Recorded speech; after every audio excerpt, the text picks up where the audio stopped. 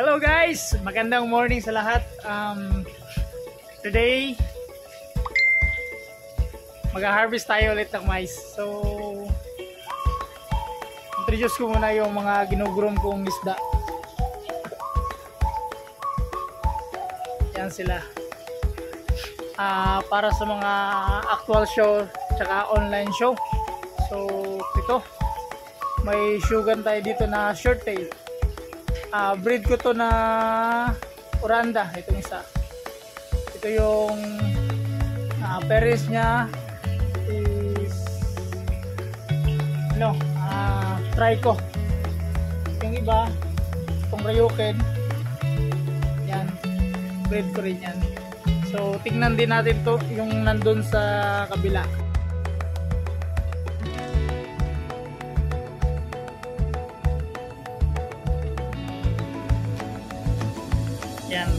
ba? Nga pala, ah, di lang ah, mais yung uh, harvestin natin ngayon. Ah, yung mga dwarf campbell din natin. Tingnan natin kung pwede na natin silang i-separate. So, ito. Medyo madami-dami na yung mga alaga ko dito. Ito yun. Ito. Saka dito ito sa likod mga mais. And fish. So may koi tayo dito. Flower horn. Tsaka dito may ginugroom din tayo dito sa labas. Dito mga aquariums yan. Pond. Dito. Simple setup lang to abot kaya sa bulsa pero to mga breeder na goldfish ko to.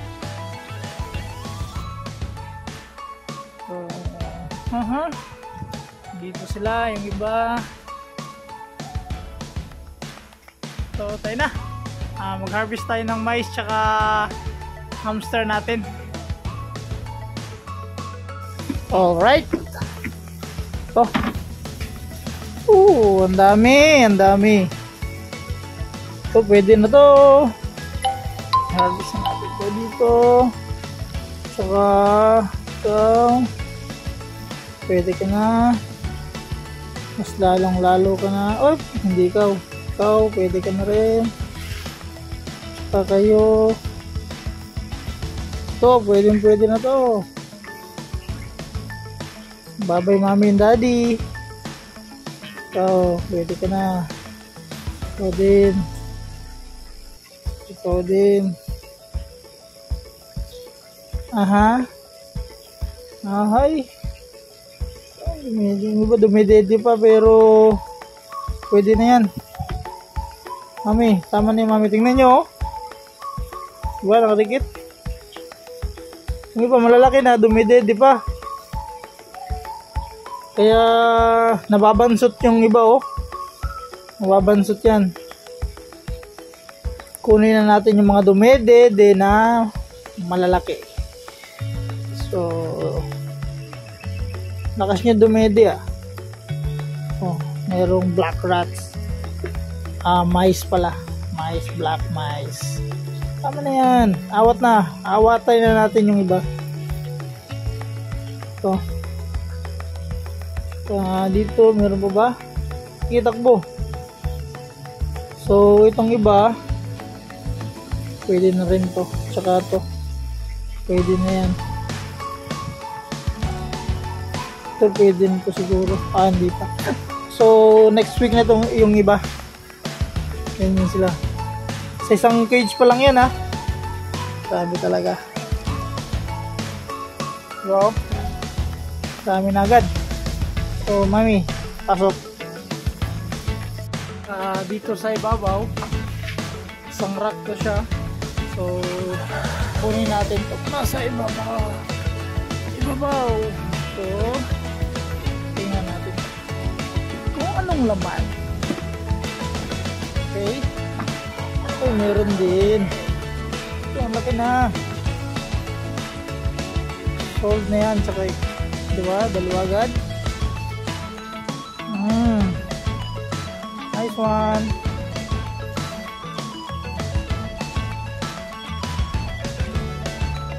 Aha. Okay na sila.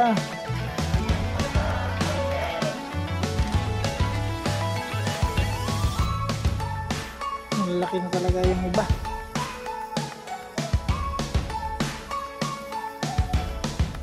Okay. Relax. Ano na. Ulit tayo ng isa. Ibaba. Buksan. Hmm? Ang meron dito. Meron na. Dalawa. Oh, isa lang pala. Mhm. Mhm. Diliksin ng iba. oh. Malaki na.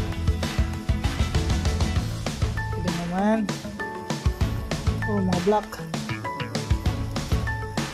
Mga funk. Funky town. Di ba mga funk yan?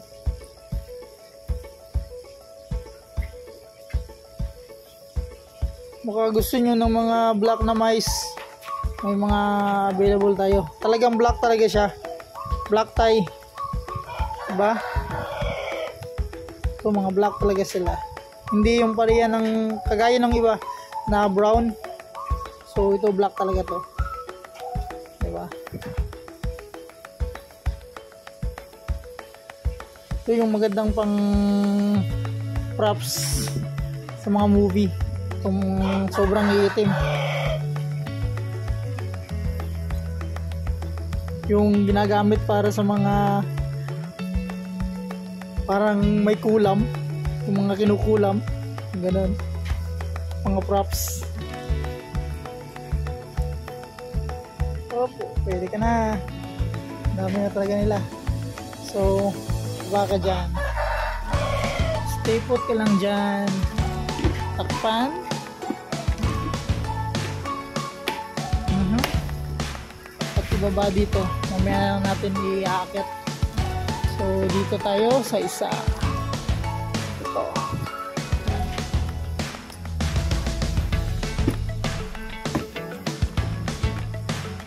Buksan ulit. Tadaan! Dami ulit. Napaka daming harvest natin ngayon. At nakabawi na nga tayo. Dun sa mga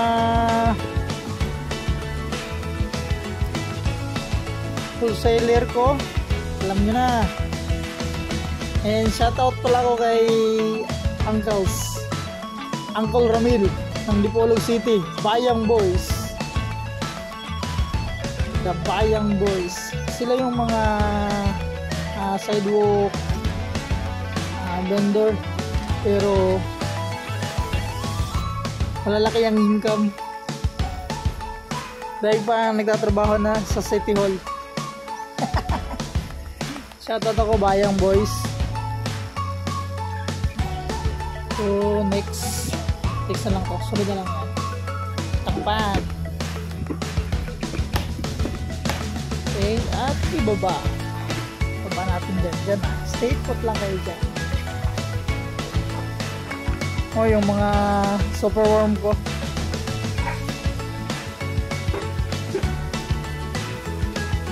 Ito naman ito yung ah, last na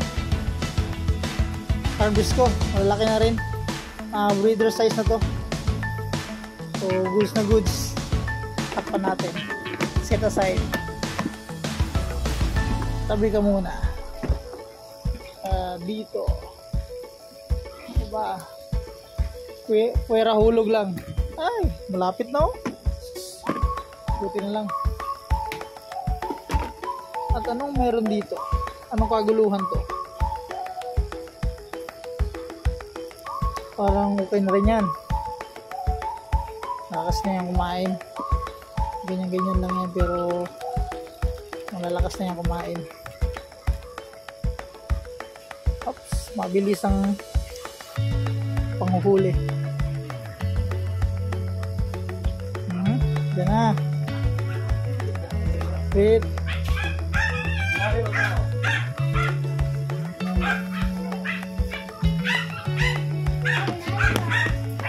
Hop. May mga customer tayo.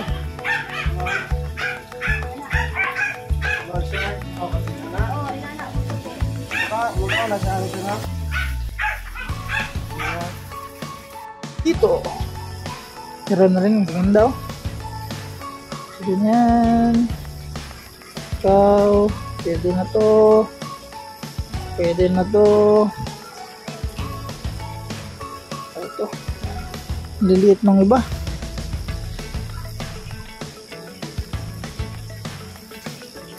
Yung iba, makikita mo na na kahit baby pa sila, wala pang balahibo, makikita mo na ah, white and black sila, black and white. Ito, basta ganyan ng colors, tsaka yung mata nila sa black. Sure na yan. Ba, ang ganda. Ito yung mabenta sa akin dito. Yung mga ganito. Ah, sige. Rami, lilinisan ko kayo pagka next day.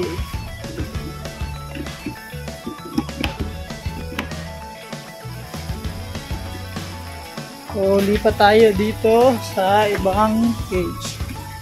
Patong muna natin to dito itong yung DIY hamster cage ko. So, dito kunin natin to. Click kayo.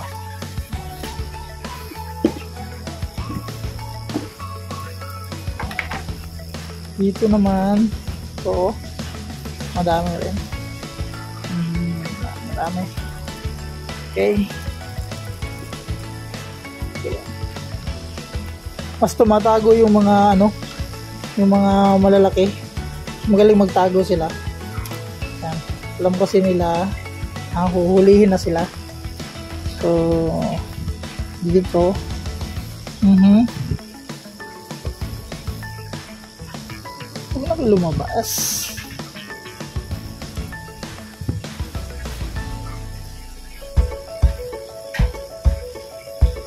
Mhm.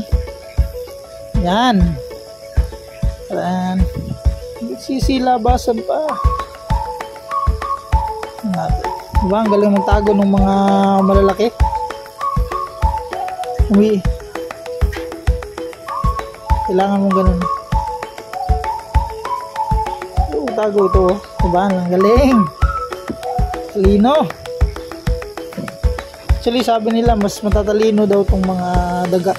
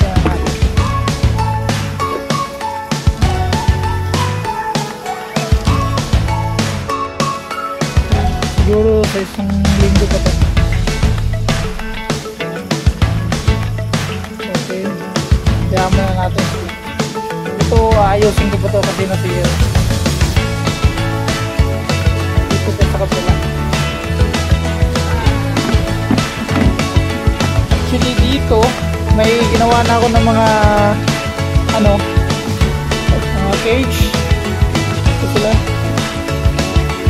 Additional cage kasi dumadami na sila.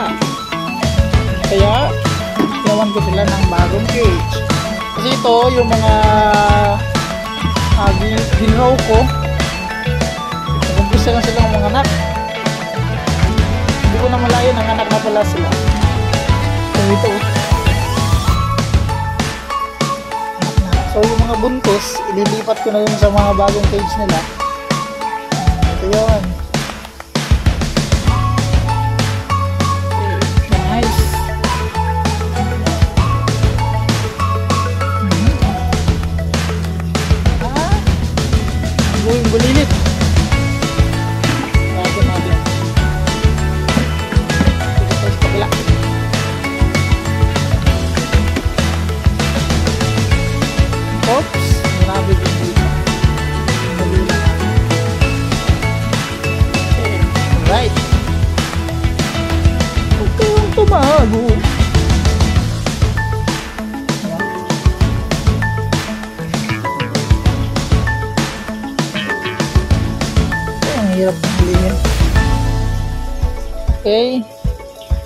Hoy, hoy, hoy, hoy, hoy, hoy. Hmm. Huli rin naman kayo. Hmm. Tingnan nyo, ang cute. Nagtatago dito. Hop, ito.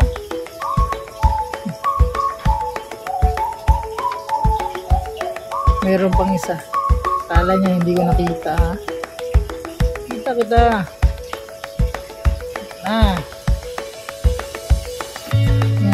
Iba mga buntis na. Diba? Baka may nagtago pa dito.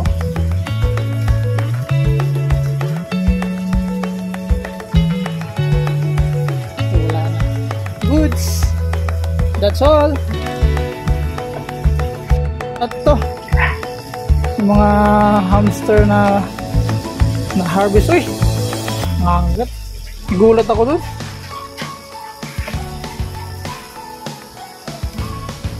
Ito yun. May choco. Diba?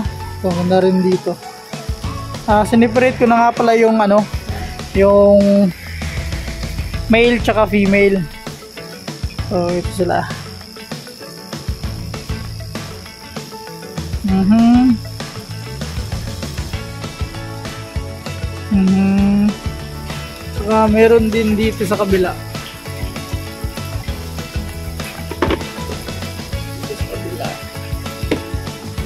Dito rin. Ito. Apat lang to. Ah, hindi ko muna sila inano. Iniwalay. Mag, ah, magkakapatid to sila. Hindi ko muna iniwalay. Kasi medyo may may bansot. Yun. Woo! Nice. Ah 120 yung mga yung na-harvest natin. Ay, ang dami. So, ilagay na natin dun sa ano ko, ah, storage box ko. Ito. Ah, dito ko sila nilalagay habang medyo ah, bagong maliliit pa sila bagong harvest pa. So, dito. Ito yung ginawa ko na lalagyan nila. Malaki ito. Mga nasa 5 feet ito siya. Itong haba nito. Tapos dito, mga nasa 18. 18 inches. Tapos may takip din. Kahoy lang to, nilagyan ko ng screen. Ito, nilagyan ko ng screen dito, saka dito. Yung, yung ilalim nito is glass. Basag na ah, salamin. So, yun yung ginawa kong ah, sahig. So, hindi nga mga ngat-ngat. So, hindi rin nga ngat-ngatin. Diba? Okay, DIY na ng mga mahihirap na tao. so, dito. Lagay natin sila dito. Alright. Buhos na sila. Sabay. Mm, shake, shake, shake nga. Ng konti para nga. Ito na silang lahat. 120 pieces. So, para ngayong araw.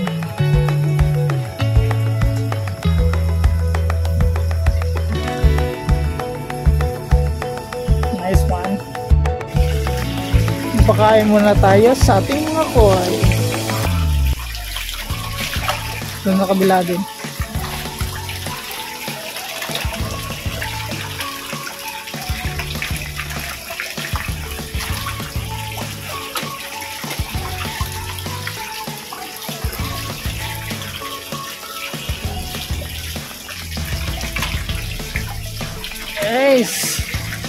Papahawak lang mga koy. Okay ba kayo dyan mga koy? Simpleng setup lang din. May koi pan ka na. Mga binibenta ko rin to. sideline. Lahat ng ito sideline. Pero pangkabuhayan din. so, goods. Yun na, natapos din tayo dun. Ah, 120 pieces. Tsaka hamster. Ah, uh, yun ng hamster natin. Ah, may 7 pieces, 8, 20 plus din na hamster. So not bad for today. May 120 na tayo plus 20 pieces na uh, hamster. Sulit. Uh, ipopost na natin yun. Bibenta. So may pera sa mga alaga natin. Nag-enjoy pa tayo. Nagkapera pa. So good job to us. So thank you. Huwag kalimutang mag-subscribe. Uh, share and pwede kayo mag-comment kung gusto nyo mag-shoutout. Sa shoutout natin yan. See you soon!